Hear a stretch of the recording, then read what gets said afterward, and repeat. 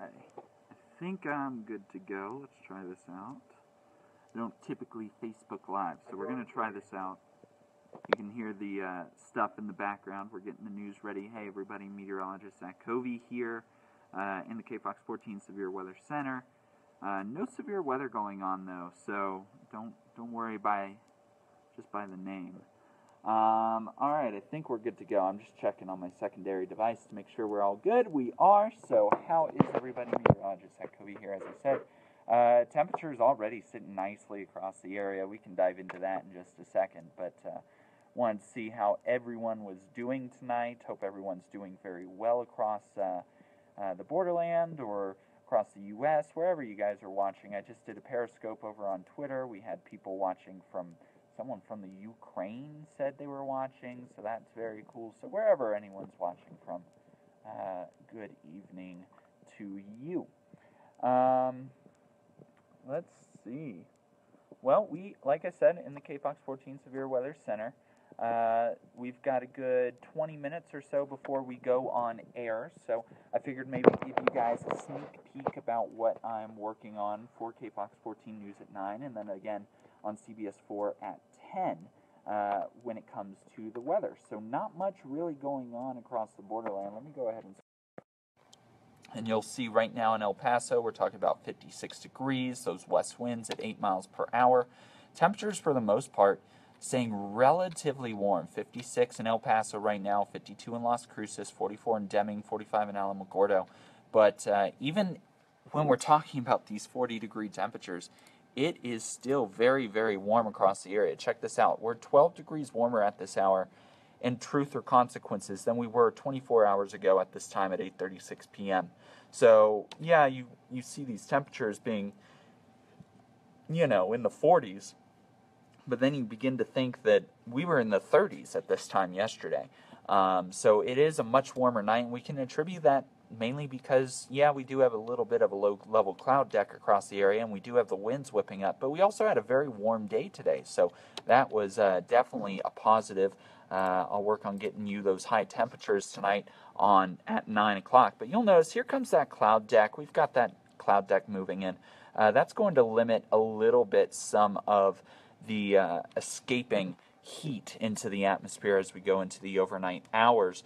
What really is going to be the cool factor, though, is the winds. Check out these winds. This is what's really helping the fact that we're going to have a very, very warm night across the area. We're talking a west wind at 8, a west wind at 17, uh, between El Paso and Las Cruces, west northwest at 13. We're going to generally continue to see this west uh, westerly flow over the next couple of days as we head into your Tuesday and your Wednesday.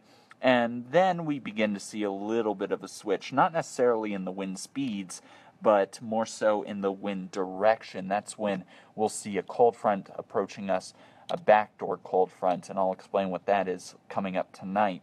But like we said, nothing on satellite and radar. You have to really zoom out all the way up into the Pacific Northwest to see a low pressure system beginning to uh, that's where it's rainy.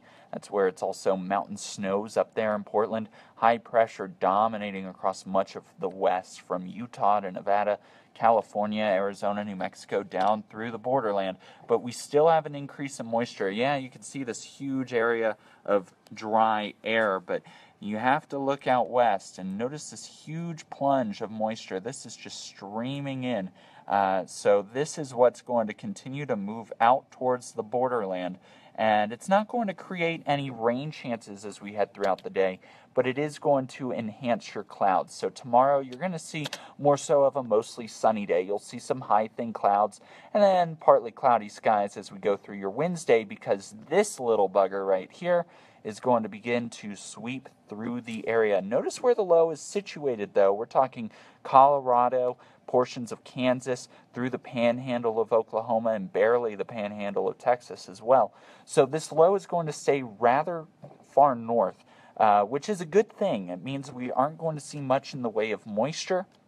Instead, we're going to just see some very cold air across the area. The backdoor cold front, that means it's coming in from the east, so we're going to see the wind shift out of the east. It could be a very windy day on Thursday, but temperatures are going to dip about 10 to 15 degrees below average, um, and and 10 to 15 degrees below what we saw the day before too. So uh, as I was telling our PA Jason, it's going to be a very very cold and uh, shocking day as you head into Thursday after those 60s on Wednesday.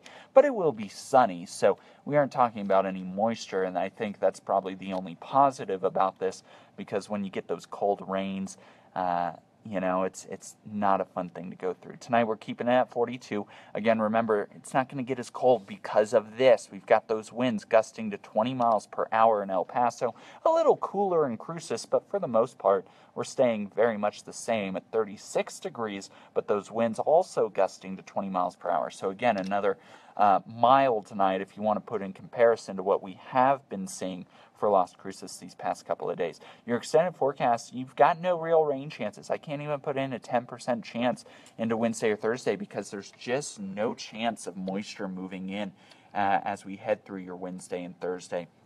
And you'll notice high pressure quickly rebuilds, and that's what's going to clear us out Thursday, Friday, Saturday, bring up those sunny skies, but also bring up our temperatures. So, yeah, we go from 62 and 59 to 47 and you see those lows go from the 40s to the 20s, but we quickly rebound in about 48 hours because by that weekend we're back into the 60s and early next week we've got the 60s as well so this is looking to be a very uh, warm weekend a very dry weekend keep in mind uh, the last time we saw rain was saturday so it's not a you know a, a long stretch of time that we're going without rain but uh, remember we went without rain for what was it, a month, uh, no rainfall uh, in the entire month of October. So, uh, definitely something that, you know, if the high pressure can build in, is this something that we're beginning to transition to? It is a La Nina year. Uh, typically, we are drier in La Nina years. We actually did a story about that last week about how La Nina was affecting the weather pattern here in the borderland. Megan Lopez went out to the National Weather Service, talked to some people. If you missed that story, it is on our website, kfox14.com. Uh, you can always check that out. But uh, it is an interesting uh, concept how high pressure and the La Nina could uh, actually affect the system. So you can hear we're getting ready for the news. Um, look at the cameras. You can see they're getting all the stuff ready, all the uh, videos, making sure everything's ready to go for KFOX 14 News at 9. Uh, and that includes me. So start getting ready as well. We will uh, see you guys in about 20 minutes on KFOX and about an hour and 20